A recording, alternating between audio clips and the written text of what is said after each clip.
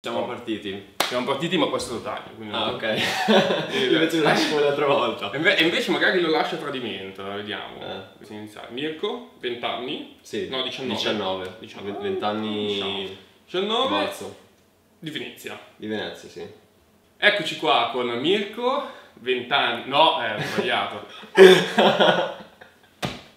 Allora, è venuto a trovarmi Mirko per questa nona puntata di Storie di Kikomori, ha 19 anni e viene da Venezia. Tanto grazie anche a te per esserti fatto il viaggio Milano-Venezia, come, come l'ultima ragazza, come Melania. Hai il primato di essere il ragazzo più, gio- più giovane Più che giovane, è venuto sì. a- Sì, sì. qua da me a trovarmi. Eh, sì. Come mai hai deciso di scrivermi e venirti qua? Allora, io ho deciso di, di scriverti perché vorrei testimoniare la mia storia, perché ci sono certi lati del, del mio essere stato Kikomori, perché non lo sono più, diversi da quelli che sono stati raccontati. E molti ragazzi probabilmente stanno vis- vivendo le stesse cose che io ho vissuto in passato e vorrei essere un esempio per loro, per vedere anche che cioè, si può uscirne, si, si può cambiare, ecco. Quali sono le cose secondo te rispetto alle storie che abbiamo già visto, che sono un po' diverse? Ecco, i temi che sono stati un po' meno trattati o proprio non trattati è il modo in cui un Ikikomori si rifugia, si rifugia da- dalla realtà su internet, su Facebook, sui social e- per trovarsi delle nuove amicizie. Stando sempre a casa mi sono sempre sentito solo, mi sono sempre sentito incompreso, mi sono sempre sentito diverso dalle altre persone, migliore delle altre persone perché ero molto un ragazzo che provava rancore verso tutti. Sì, mi sentivo più intelligente, mi sembrava che le persone non capissero nulla. Facebook, eh, per- nel mio caso, mi ha aiutato molto, mi ha aiutato e anche no, perché comunque sono stato dentro a un vortice che ci ho messo tipo un anno per uscirne. Però mi, fa- mi ha fatto sentire un po' meno solo il fatto di avere delle persone con cui parlare, mi, sen- sen- mi sentivo come se fossi fuori dal mondo, in un mondo migliore, con delle persone migliori, che mi capissero. Ma tu su Facebook ehm,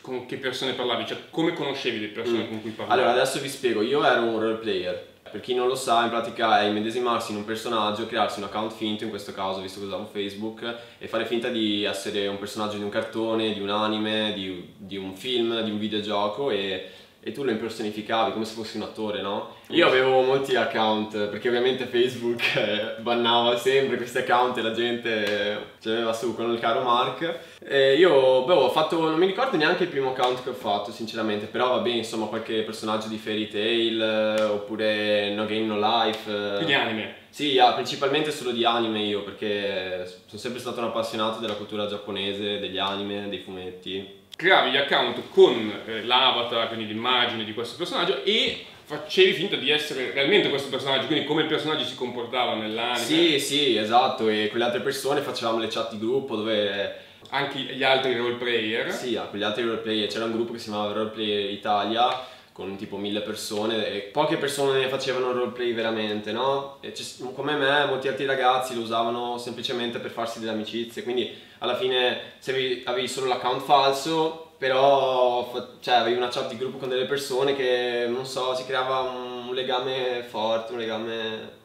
Molte E secondo persone. te, appunto, in che modo negativamente ha influito sulla tua, diciamo, già visione un po' distante degli altri? Perché ti ha dato la possibilità di trovare persone con cui ti trovavi bene, quindi magari le altre persone diventavano ancora di minore interesse, le altre in- interazioni. Avevo qualcosa su cui fare appoggio, no? Quindi era più sopportabile tutto quanto. L'isolamento mh, deriva proprio da quando sono più piccolino, da bambino. Ho sempre avuto problemi a relazionarmi con le persone, per i miei problemi familiari ho subito, ho- che ho subito dei, dei- dei traumi da bambino, no? Ok. E questi traumi mi hanno portato un po' a, a chiudermi in me stesso, a, a isolarmi. Alle elementari ero un bambino diciamo, molto vivace con tutti gli altri bambini, eccetera. Però siccome io sono nato da una famiglia atea, ok? Non, non sono mai, non ho mai frequentato catechismo, religione. Io abito in un paesino di 10.000 persone, quindi cioè, all'epoca... non è proprio Venezia, è un paesino vicino No, un Venezia. paesino vicino a Venezia. cioè proprio una mentalità con la religione molto forte ancora all'epoca si sentiva poco parlare di atei, di persone agnostiche. Quindi eri un po' escluso dalle dinamiche di paese? Sì, mi guardavano male, soprattutto i genitori, mi, mi sentivo osservato con un occhio diverso, okay. perché, perché appunto sembrava una cosa che non si potesse concepire, no? Però mi sono sempre visto un po' così anche da, dagli altri bambini, ovviamente influenzati da, da, dai genitori.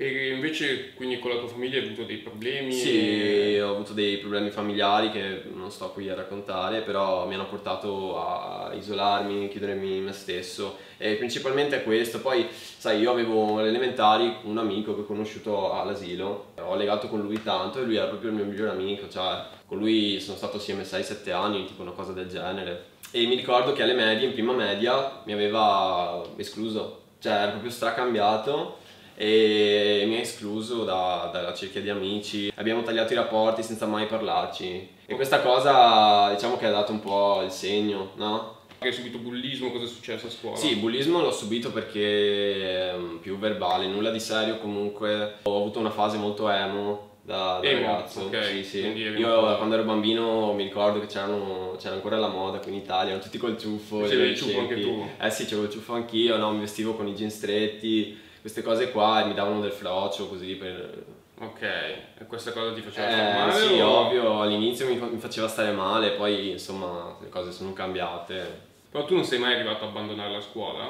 No, non sono mai arrivato a abbandonare la scuola perché mm, non lo so, avevo paura di farlo, perché se avessi finito anche di andare a scuola non so cosa avrei fatto, no? L'unica volta in cui uscivo di casa era solo per andare a scuola in pratica, okay. poi non avevo relazioni sociali con nessuno, per esempio d'estate cosa facevi? D'estate ero a casa a giocare a League of Legends tutto okay, il tempo. L'estate era il Guardavo momento anime o e, appunto parlavo con i miei amici di Facebook. Ho avuto una relazione a distanza con una ragazza che mi ha conosciuto okay. su un gruppo Facebook e pensavo fossi di Napoli, perché questo gruppo era prettamente napoletano, ma io non lo sapevo. Ah, tu sei finito in un Io sono finito, sì, e vabbè, non so se è presente. Il tuo secondo me non è scambiabile per quello di Napoli. No, no, infatti non mi dicono neanche che assomiglia, io non so se tu recepisci un po' il mio accento veneto. Beh, sì, si sente. Sì, eh, per dirti, quelli che sono del Veneto mi dico che non ho l'accento veneto, quindi... Eh, lo so, però eh, se vieni qua a Milano si sente. Si sente, si sente, ecco. C'era questo gruppo dove le persone scrivevano le loro storie in maniera un po' depresse, nel senso che si piangevano un po' addosso ma ci scherzavano sopra, sai, un po' i soliti. non so se, avevo, se ho scritto io a sta ragazzo, lei ha scritto a me, sta di fatto che dopo un po' ci siamo visti, sono, ho preso il treno e sono andato giù a Napoli. Quindi è stata una relazione non solo virtuale ma... No, no, ci siamo visti molto spesso, lei veniva, è durata un anno, però... mi spiace per lei sinceramente, cioè se stai guardando questo video Dele, cioè bacio. Vabbè, non, non, non, parleremo male di questo ragazzo. Spero. No, no, non parliamo male, ma più che altro lei è stata assieme a una persona che non sapeva, cioè io non mi sono mai aperto con lei. Siamo stati assieme, sai quei, quegli amori un po' quelli adolescenziali, quelli stupidi, quelli che non hanno okay. un significato. Cioè, Va bene, non, non, non, ti sei mai aperto? Non mi sono mai aperto con questa persona, nonostante siamo stati assieme un anno, ci siamo visti molte volte, lei veniva sempre giù da me Durante l'anno andavo io da lei. Ok. E quindi uscivamo, stavo con lei, ma ero sempre un po' zitto, sempre un po'... Non sono mai stato me stesso con quella persona. E andavamo comunque in centro, io non parlavo con nessuno, mi sentivo a disagio, sai. Con lei parlavi? Con lei parlavo poco. Quindi vi vedevate ma comunque parlavi poco? Sì, parlavo poco. Ero okay. molto imbarazzato, avevo molti sorrisi, sai, quelli nervosi. Ok, ma avevi paura che lei ti giudicasse per il fatto che eri poco socievole? O perché... Avevo paura proprio di mostrarmi, ma non solo a lei, ma a tutte le persone, avevo proprio paura di mostrarmi per com'ero effettivamente. Mi sono sempre creato una maschera che poi non sono più riuscito a togliermi. Quindi... Non so, hai particolari ansie legate alle relazioni? No, le, le, sto, le sto tuttora combattendo perché comunque penso che tutte le cose della mia adolescenza me, me, le sono portate dietro per un bel po' di tempo, anche quando sono uscito, comunque tutte le mie ansie sociali ce le avevo ancora certo. e ci ho messo tempo, per, e, tempo e molta buona volontà per, per migliorarmi, ecco, per, per, voler diventare la persona che volevo essere. E cosa, cosa ti ha fatto scattare questa voglia di cambiare questa condizione? Adesso così su due piedi non saprei dirti. Ti posso dire una cosa, e io sono uscito per la prima volta con delle persone, ero uscito con una ragazza che emo, si vestiva in modo particolare come mi piace a me e ci siamo trovati al parchetto così a parlare. Vabbè dai, con lei ero abbastanza a mio agio, però allo stesso non riuscivo a scherzare. Quindi anche lei hai incontrato online, conosciuto online? Sì, anche lei online. E ho cominciato ad uscire fumandomi le canne. La prima volta che sono uscito e sono andato al parchetto avevo l'ansia di andare al parchetto, stavo, avevo il cuore che batteva a mille, non, non stavo proprio bene perché sapevo che c'erano delle persone. Ok, e le, diciamo, le canne ti hanno aiutato? E le canne mi hanno aiutato a, Possiamo a legare uno spot alla, alla marijuana, però no, no. diciamo che... Non che, vi drogate ragazzi. Non dai. vi drogate, però ehm, diciamo, ti hanno aiutato mi hanno, a rilassarti. Ma no, in realtà no, non, non, è, non, è, non è cambiato nulla, semplicemente diciamo è il mezzo con cui mi ha fatto la scusa anche sì anche sì cioè io penso che comunque ti faccia rendere conto di alcune cose la marijuana ma magari anche le altre droghe che io non ho mai provato. Questo lo taglio. No ma era per dire. No scherzo. Ah lo scherzi Vabbè. non lo so vediamo ci penso vediamo. Il marco del futuro valuterà. Io non voglio farsi discorsi. no, no va bene va bene. Quindi diciamo che piano piano sei tornato ad avere più interesse nell'uscire, nel frequentare persone? Sì, sì, ho cominciato a uscire in terza superiore principalmente, ovviamente prima ho avuto dei periodi in cui uscivo, sono stato un giocatore di Yu-Gi-Oh! per molto tempo, okay. però era quasi come se stessi giocando contro il computer, io andavo in fumetteria solo per giocare, non parlavo con nessuno, cioè ma giocavi contro un'altra persona? Sì, no, sì. non ci parlavi, cioè... Giocavo, io ero lì per giocare e basta, okay. non ho mai... non sono mai andato lì per socializzare, per fare degli amici. Ti serviva qualcuno che giocasse contro di te? Sì. Che era una persona, un robot, sì, non, non andava bene lo stesso. Non niente, sì. ok. Quindi non, non, lo, non, non, lo, reputerei proprio okay. un... Eh, Però dopo un po' hai, mi hai detto che tu comunque oggi stai meglio, no? Hai sì, superato questa fase certo. di solitudine. Sì come la vivi? Nel senso, la, se ci ripensi, Beh. quali pensi siano stati gli elementi determinanti, scatenanti e quelli che ti hanno aiutato un po' a uscire, per fare un riassunto? Le persone che mi sono state vicino, i miei amici, perché io mi ricordo c'era un ragazzo che,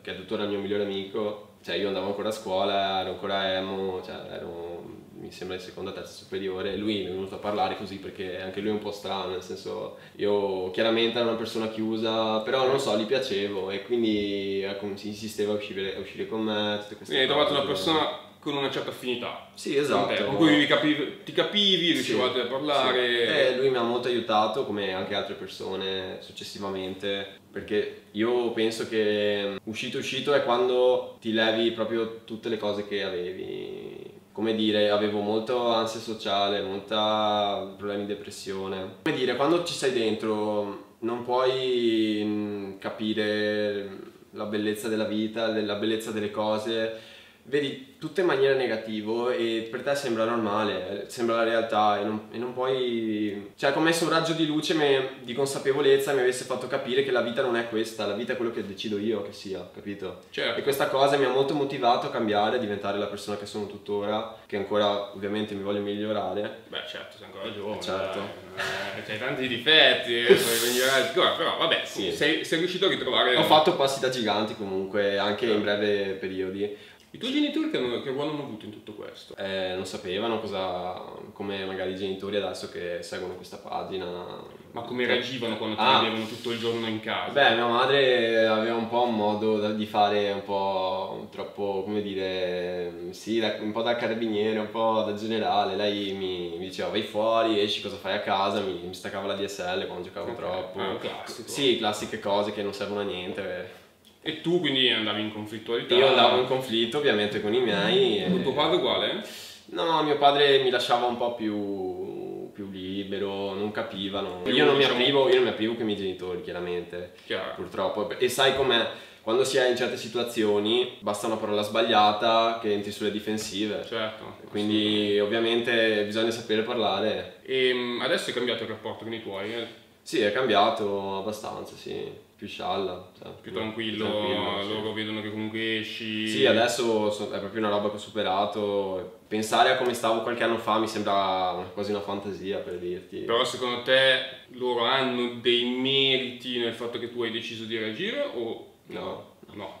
no. Quindi diciamo il rapporto è migliorato perché tu sei migliorato, sì, non perché loro hanno cambiato sì, atteggiamento. Le persone che mi, mi sono state più vicino sicuramente mi hanno aiutato, però comunque Un'altra cosa che volevo chiederti, ehm, tu hai mai avuto problemi col tuo aspetto fisico? Nel senso, il tuo isolamento sì. è stato determinato anche in parte dal fatto che non ti piacessi fisicamente? Mm, no, però ho avuto comunque molte ansie, cioè io ho armato per la simmetria come Death the Kid, cioè lui, come? Death the Kid, è il personaggio di, di Soul Eater, ah, cioè il, è il figlio dello Shinigami in pratica che okay. lui è maniaco della perfezione e quindi anche e lui, e lui se non, cioè lui sta proprio malissimo se le cose non sono simmetriche. Ma simmetria anche del tuo volto? Sì, sì, tutto.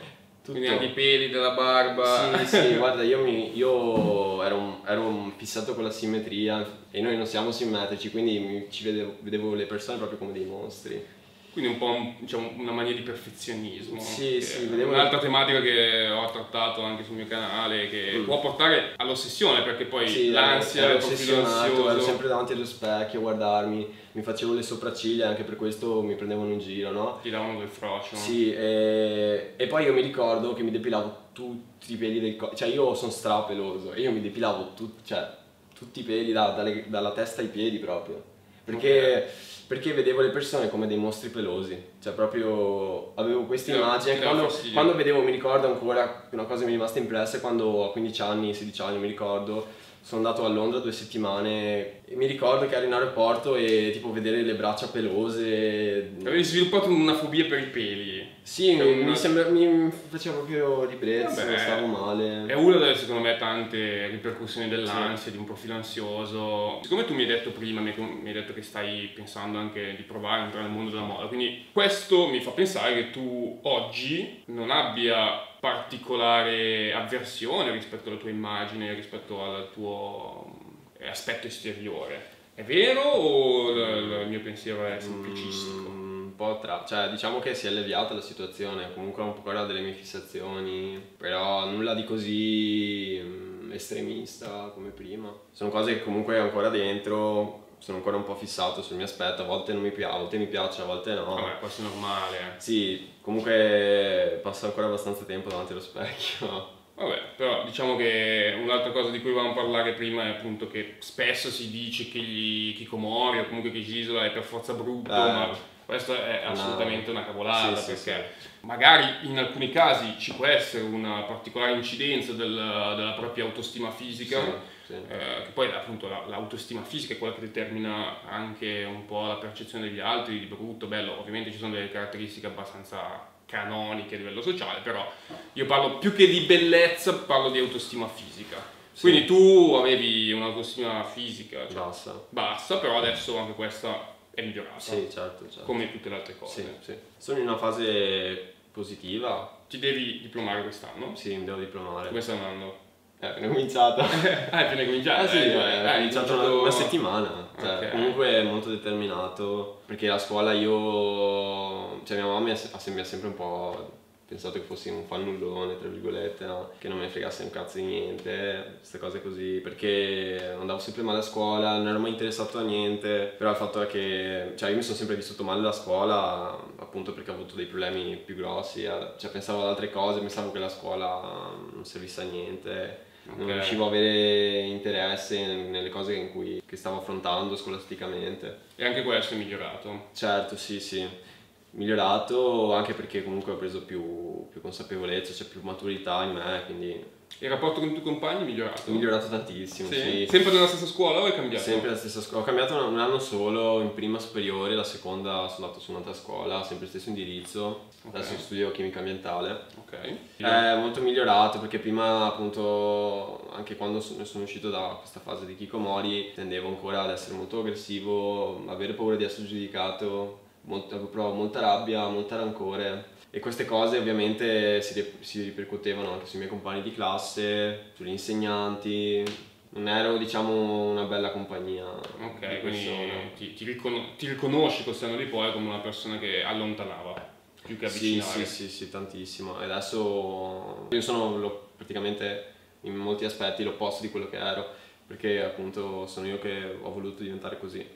Ah, sono contento che ne hai sentito parlare perché comunque la tua è una storia positiva, nel senso che sì, sì, sei la dimostrazione che le cose possono cambiare, che si può migliorare, che si può crescere, che insomma anche la, la propria percezione degli altri, del, del, mondo, della società, della scuola può migliorare pur sapendo che comunque ci sono tanti difetti, quindi non è che è tutto rose e fiore. L'ultima domanda che ti faccio poi e ti lascio a te se vuoi aggiungere qualcosa, però l'ultima mia curiosità è il rapporto con i videogiochi. Tu oggi giochi ancora? Sì, sì. Sei ancora quindi un gamer? Sì. Cosa giochi? League of Legends. League of Legends, malato di League sì, sì, sì. Sei forte, cosa sei? No, beh, ero, cioè, non so se sai i ranchi, Sì, più o meno. Eh, ero platino, ma nulla, nulla cioè, ci credevo da ragazzino, per dire. Volevi diventare un giocatore sì, professionista? Sì, sì. Come è evoluto il tuo rapporto con i videogiochi? È evoluto, ha avuto un ruolo? Parlamene un attimo evoluto. Nel senso è cambiato adesso il tuo rapporto ah, con i videogiochi sì. che sei sì, più sì. tranquillo? Sì, prima cioè, passavo proprio la vita a giocare e basta. Adesso cioè, se sono a casa a non fare niente, vabbè dai, facciamo una partita al LOL. Ma vivi più come un passatempo? Sì, sì, sì, prima era proprio, non dico, sì, un'ossessione, perché mi distraevo dal mondo reale appunto anche. Quello mi ha molto aiutato, a, aiutato e non perché così sono rimasto ancora più tempo lì in quella situazione, però diciamo che i videogiochi mi hanno aiutato a non pensare molto, cioè passavo le giornate a giocare e mi distraevo così. Certo, c'è un po' questo ruolo ambivalente dei videogiochi di Kikomori che da una parte sì. giustamente aiutano ad abbassare un po' questa ansia, questa sofferenza che pensare tutto il giorno alla propria condizione ti provoca, dall'altra si potrebbe anche pensare che la alimentano perché appunto diventano un po' un'arma a doppio taglio. Già. Però ecco, in questo caso tu sei la dimostrazione che la dipendenza o l'eventuale bisogno di videogiochi anche per non pensare migliora conseguentemente al migliorare anche della tua condizione con gli altri, relazionale, nel senso che adesso appunto senza fare immagino particolari terapie per no, i videogiochi sei riuscito fatto. a... Um, non ho mai fatto nessuna terapia. Non hai mai chiesto aiuto nessuno? Mai chiesto, cioè io non mi, mm, mi viene un po' da ridere adesso perché questa cosa non l'ho detta però io mi sono sempre definito Kikomori, però scherzandoci sopra perché non esistevi ancora tu, non esisteva questo progetto bellissimo che ci porta un sacco. Era un concetto pre- prettamente giapponese, quindi in Italia non poteva esistere sì. Kikomori. Anche cioè... un po' come identificazione in un gruppo, ah, perché eri appassionato giapponese, quindi ci piace. Sì, esatto. Esatto, lo dicevo per scherzare, però effettivamente era vero, no? Sì, sì. Ma anche, anche, la depressione, io non ho mai pensato di soffrire di depressione. Costando di poi invece Ho cominciato a pensare, ma cazzo, allora ero depresso a tipo 17, 10, cioè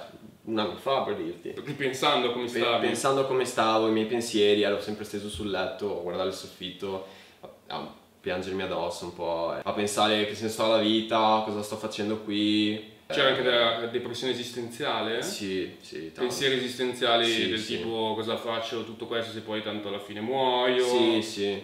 Sì, molto pessimista. Mi ricordo a Londra che ero alla metro, volevo buttarmi sotto la metro, mi stavo... cioè, non sono mai riuscito a... Avevi quindi pensieri anche suicidari? Suicidi, sì. Per me il suicidio era una cosa logica, ok? Però non sono mai arrivato a quei livelli estremi, non voglio... Logica nel senso... Logica, logica nel senso che pensare a suicidarmi fosse una cosa normale pensare a avere questi problemi esistenziali, avere queste ansie, eh, stare male tutti i giorni, svegliarsi per me era un'agonia praticamente, svegliarmi... Quindi dicevi, era un po' la, la soluzione più logica che, che vedevi al, al, problema? No, no, no, non dico questo, dico che pensare queste cose per me era una cosa normale. Ah, ok. Non, era, non era una cosa strana, per dirti. Non era, era una depressione... No, pensavo fosse, fosse normale. Io... Quindi che tutti l'avessero? O normale eh, per te in per quanto... Me, per me. Ok, per il tuo per modo me. di essere tu pensavi che... Sì.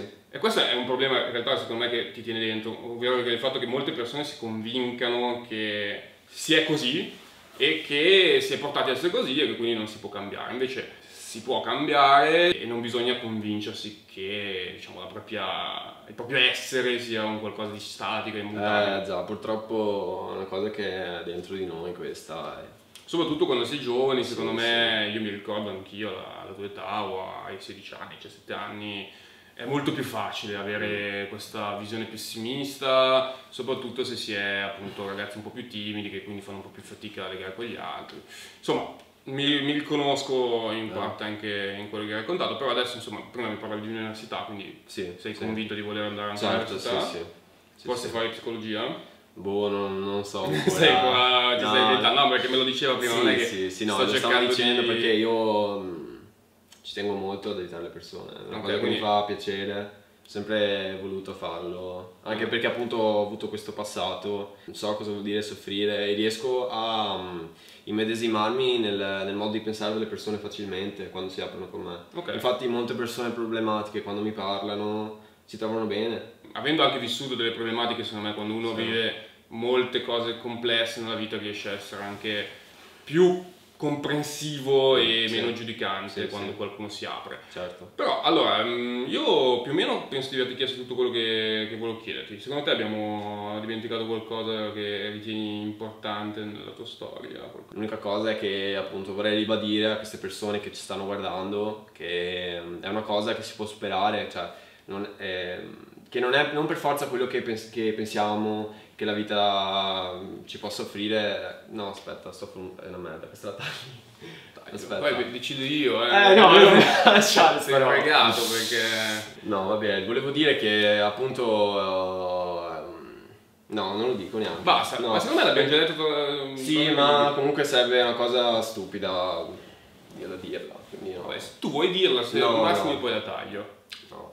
Va bene, Va allora... bene così, cioè le persone capiscono da sole. No, eh, io penso davvero che eh, il fatto che tu sia venuto qua a parlarne e il fatto che tu abbia dato della speranza, io non- penso che anche soprattutto i genitori vedranno in te, sì, vedranno in te comunque un, un- fattore di speranza perché Ah. comunque assomigli, immagino, a tante storie dei, dei figli che, Sì, che- sì. che sono magari isolati, che passano molto tempo in casa e che stanno male perché poi il, il punto chiave è, non è tanto uno che sta in casa, è che vive Mm. male questa situazione. Certo. Penso che tu possa essere una, una fonte di speranza Ma e lo mag- spero, cioè. poi io, ci- magari ci rivediamo tra un paio d'anni, facciamo un- un'intervista e mi, mi racconti se le cose sono andate, andate meglio. quindi- No, scherzo, no, sicuramente ti vedo, ti vedo un ragazzo in gamba, quindi sono sicuro che, che riuscirai a trovare la tua strada. E niente, Grazie. ti ringrazio e Niente. adesso continuiamo la nostra chiacchierata senza Sì, sì. Comunque ragazzi, bellissima community, continuate a supportarla veramente, cioè venite, venite a fare la testimonianza, questo Venite voglio dire. qua, sul mio divano. È importantissimo ragazzi, cioè io veramente porto molto rispetto, questo volevo dire, porto molto rispetto per le persone che tuttora soffrono di queste cose, sono lo stesso venute qua a, parlare della loro storia, perché non è facile, già per me che comunque io è da due, tre due anni che non, non ho- non sono più chiuso in casa, che comunque adesso vivo una vita normale, molte ansie le ho tolte, sono molto cambiato ecco. Niente, di fare la, la vostra testimonianza perché è molto importante. Io probabilmente se fossi venuto a conoscenza di questo canale all'epoca mi sarei svegliato prima, avrei ca- capito certe cose, avrei avuto più consapevolezza. Se avessi eh, visto un ragazzo eh, come me, che in questo stato, che è riuscito a superare, che sta meglio, mi avrebbe fatto pensare, insomma, diversamente, avrei avuto un punto di vista esterno. Ecco, perché comunque quando si guardano queste interviste si ha sempre, mm, si ascolta, no? Io, io penso che questo sia il bello dei- delle interviste, perché le persone ascoltano e basta, non giudicano. Soprattutto Eh. i ragazzi che, che- che passano queste cose ascoltano. E, e molte volte con il dialogo normale no, non, non si riesce a fare questa cosa, perché si giudica subito, si, si vuole subito dare la risposta, non si ascolta mai. E questo è l'importante. Quindi veramente ragazzi, se qualcuno di voi si tira indietro, fatevi un po' di forza e venite veramente, perché può essere anche utile per voi raccontarvi. Grazie, grazie per questo appello, beh, complimenti anche a te per il coraggio perché comunque hai il primato del ragazzo più giovane che è venuto qua, adesso questo non te lo toglie nessuno. E niente, No, anch'io vedo... no, cioè, Eh, no, per adesso, per adesso, per adesso sei il numero più giovane, hai 19 anni, vediamo se qualcuno vorrà venirsi a raccontare, comunque grazie ancora e ci vediamo alla prossima. Alla prossima ragazzi. Ottimo, grazie mille.